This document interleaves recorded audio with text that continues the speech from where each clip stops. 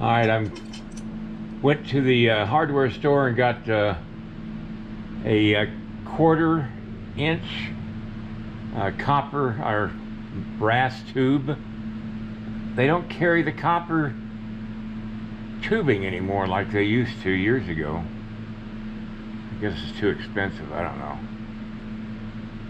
Anyway, I'm using a pipe cutter to cut it so I don't have a compressed end on it. There we go.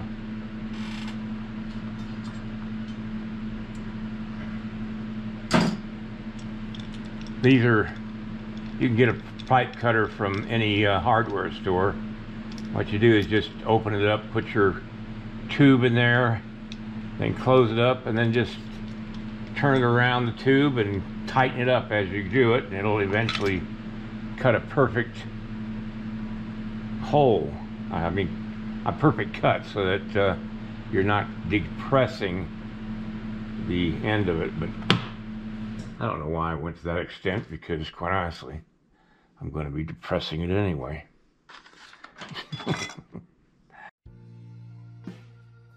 Time to play with some clay.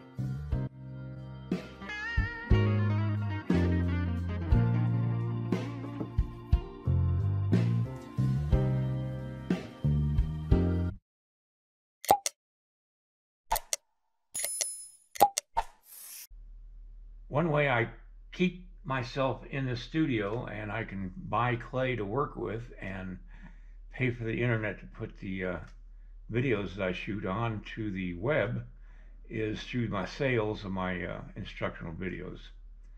Um, if you're so inclined, uh, check the link below this video uh, where I have a review of all nine of my current instructional videos and uh, see if you possibly find anything interesting there. Um, I pretty much give you my over 50 years of experience in sculpting, and uh, I'd really appreciate it if you'd uh, consider purchasing one or two or even all my videos. Um, they're streaming online on Vimeo, and uh, you need a passcode to see them, but that works forever as long as you have that passcode and the link. So please uh, consider that and let's get busy on sculpting now. End of promotion. Years ago, I bought this little anvil. It's, it's the handiest thing to have. I don't know if you can still get these, but anyway, what I'm going to do is I'm going to bend this brass tubing I don't probably need that. By the way, my son saw me using this hammer and he said, I remember playing with that when I was a kid. I used to work at a uh, printing shop back in the 70s and the early 80s. And uh, we uh, were doing lead type setting at the beginning of my uh, when I started working there in 1971, they were still setting type, lead type, uh, back in the early 70s.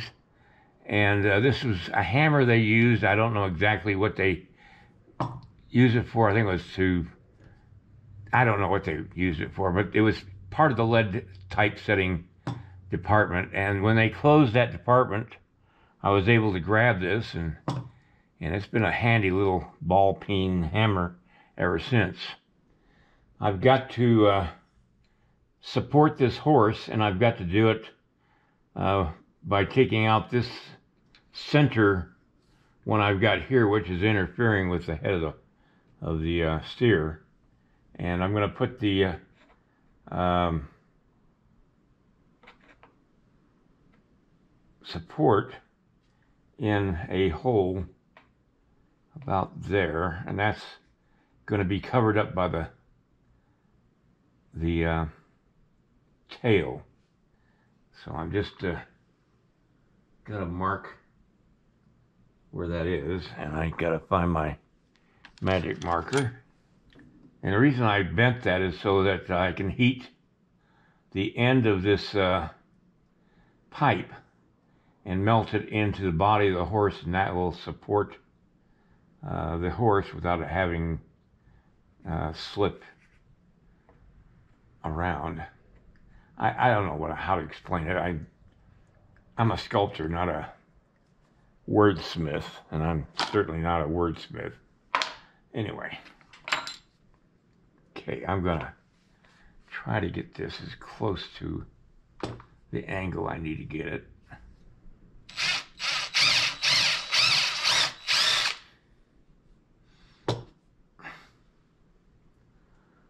Okay, get my canned air.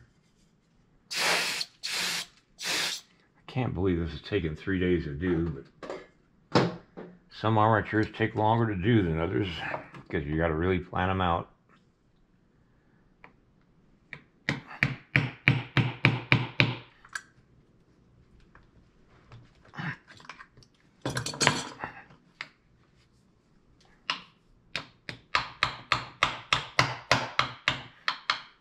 Okay, maybe running into the uh, armature. And I'm not sure this is going to even work because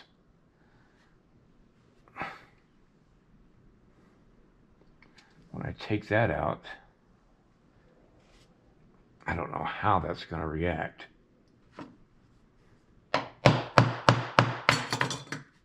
I got a bigger ball team peen hammer. Let's try this one.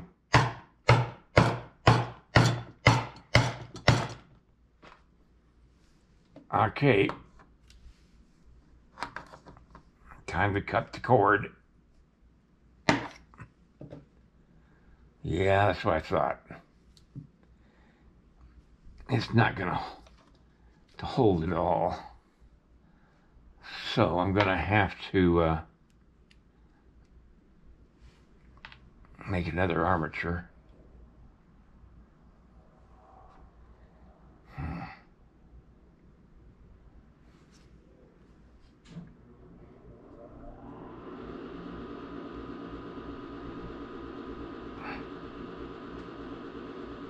I kind of had a gut feeling about that.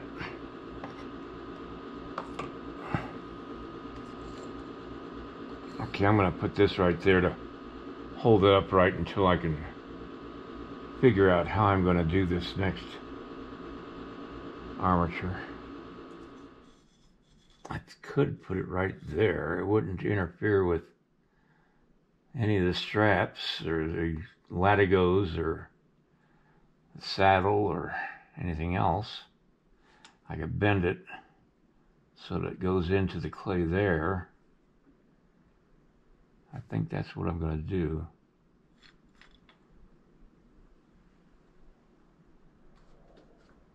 I got to mark that.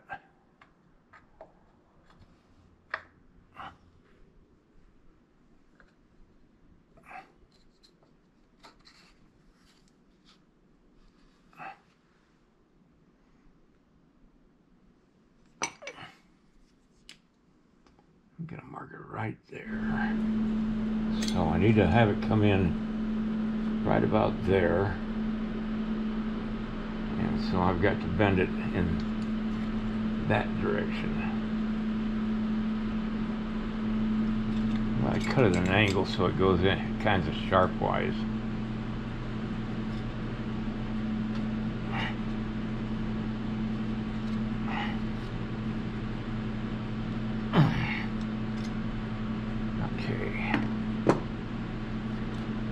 see if I can.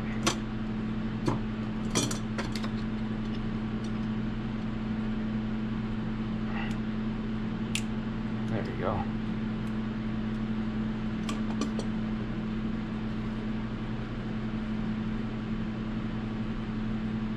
I might not have to heat it.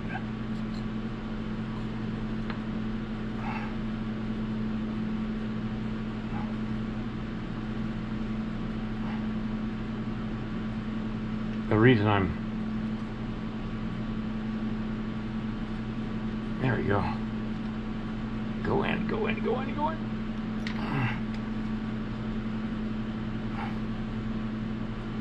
Now it holds it. And it's not going to interfere with the, any of the uh, cowboy tack.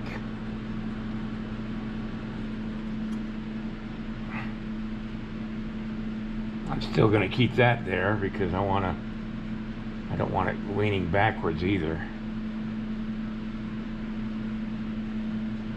Okay. Uh, I need a couple screws. Well, I need to glue that first of all.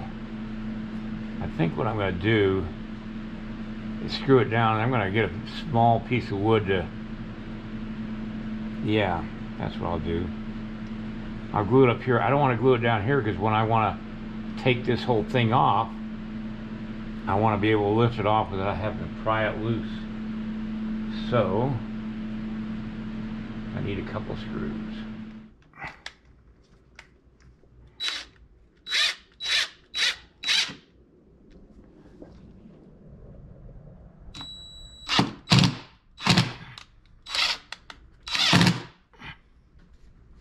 There we go.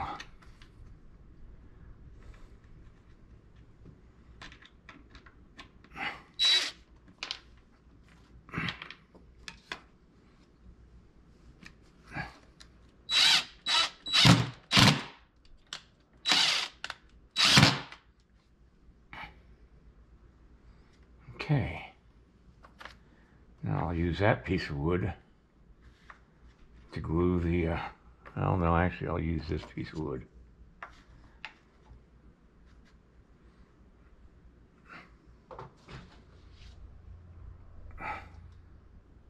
Yeah, that's not going anywhere, so I've got that solved, at least.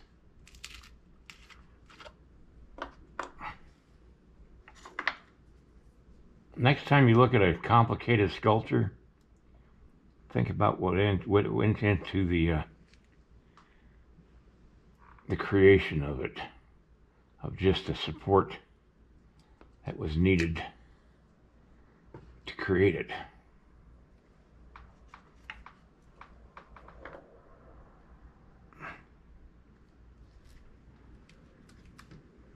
Hmm.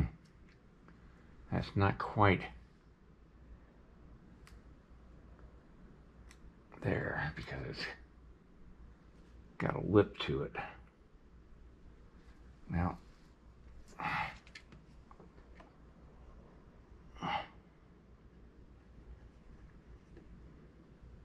naturally the uh, the lid on the uh, glue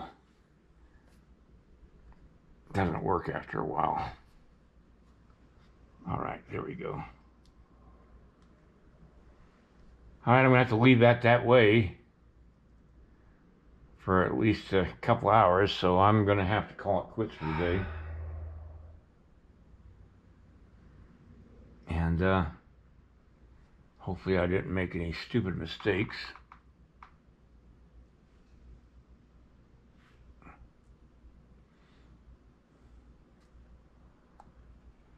All right. Yep, that horse is not going anywhere now. It's well supported. It's not the prettiest armature in the world, but it'll work. All right, that's uh, going to have to do it for tonight because I spent all my time trying to figure this armature out, and I think I finally did.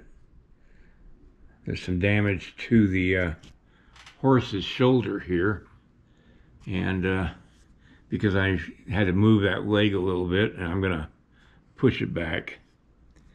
I've got uh, some tail to do there. That's been wrecked.